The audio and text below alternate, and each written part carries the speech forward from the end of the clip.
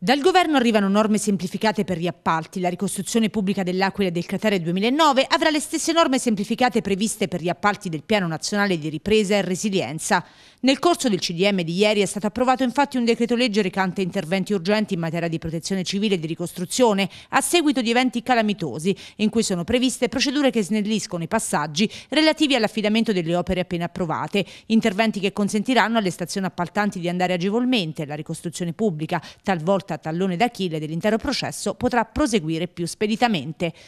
C'era stato qualche segnale con il DL Scuole qualche tempo fa, con eh, la possibilità del sindaco presidente di provincia in ruolo di commissario, quindi con delle semplificazioni, ma soprattutto l'ultimo che assimila tutta la ricostruzione pubblica dell'Aquila come se fosse un piano straordinario esattamente come il PNRR. E questa è una cosa che nel resto d'Italia è successa poche volte, penso a Genova per il Ponte Morandi,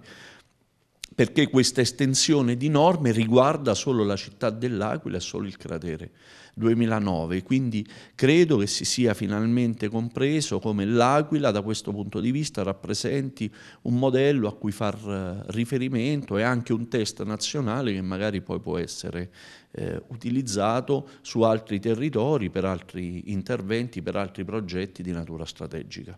Per il sindaco si tratta dell'ennesimo segnale di attenzione da parte del governo Meloni nei confronti dell'Aquila e dell'Abruzzo, ma un altro aspetto molto importante è la soluzione all'impasse generata dalla scadenza dei contratti dei due titolari degli uffici speciali, con una loro ulteriore proroga che consente di restituire agli ingegneri Salvo Provenzano e Raffaello Fico il potere di firma che è di loro esclusiva competenza. La proroga dei titolari degli uffici speciali, che forse non si comprende bene, ma sono gli unici titolati a firmare tutta l'attività degli uffici speciali, non hanno vice, non hanno surrogati, non hanno persone che li possono in qualche maniera, che possono mettersi al loro posto e quindi si rischiava un blocco dell'attività. Questo era stato chiesto nel corso della visita all'Aquila del Ministro per la Protezione Civile e per le Politiche del Mare Nello Musumeci. Con il Ministro aggiunto pure Biondi siamo d'accordo che ulteriori necessità potranno essere presentate e prese in considerazione in corso di conversione del decreto grazie al prezioso supporto dei rappresentanti abruzzesi eletti in Parlamento.